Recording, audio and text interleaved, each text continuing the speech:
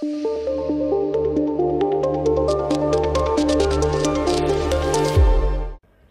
run a political party no to run a political party first of all so tough job మీరు ఒక ఉదాహరణ తీసుకుంటాను అది దాన్ని మీరు తప్పుగా తీసుకోకండి జస్ట్ ఒక అబ్జర్వేషన్గా తీసుకోకండి. మనకి వైఎస్ షర్మిల గారు ఒక పార్టీ స్టార్ట్ చేశారు. కొన్ని సంవత్సరాల క్రితం పార్టీ స్టార్ట్ చేస్తే అందరు నన్ను అడిగారు మీరు షర్మిల గారు పార్టీ స్టార్ట్ చేశారంటే వాళ్ళు అంటే నేను సంతోషం నేను ఆహ్వానించాను. ఆవిడ రావాలి అలాంటి వాళ్ళు రావాలి. ఎందుకంటే more number of political parties different ideas it's better. కానీ ఈ రోజున ఎంతవరకు వాళ్ళ పొలిటికల్ పార్టీ ఉంచుతారో లేదో తెలియదు మేము వాళ్ళు కాంగ్రెస్లో కలిపేస్తారని వింటా ఉన్నాను వార్తలు.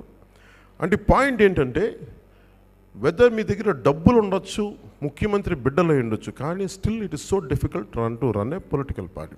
మనం ఎందుకు నడపగలుగుతున్నామంటే మన దగ్గర భావ భావ తీవ్రత సైద్ధాంతిక బలం and commitment to serve and commitment to stand against atrocious and cruelty of YCP or any any other political system.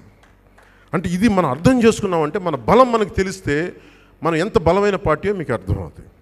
ఇది రెండు ideology is very very important Telangana Rashtra Samithi అని వచ్చిన party why it has to become Bharat Rashtra Rashtra సమితి అంటే తెలంగాణ కోసమే ఉద్భవించిన party అని చెప్పి ఈరోజు భారతదేశానికి మేము పనిచేసే పార్టీగా ఎందుకు అయిపోయిందంటే ఆఫ్టర్ ఒక స- ఒక కొంతకాలం తర్వాత ఒక ఐడియాలజీ చిన్న ఐడియాలజీ సరిపోదు.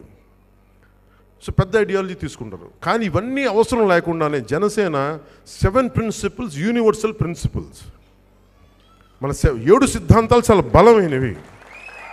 కొంతకాలం తర్వాత అది ఎప్పుడో తెలియదు కానీ కొంతకాలం తర్వాత భారతదేశపు పాలిటిక్స్ని అవే ఆ ఏడు సూత్రాలే నిర్దేశిస్తాయి. మర్చిపోకండి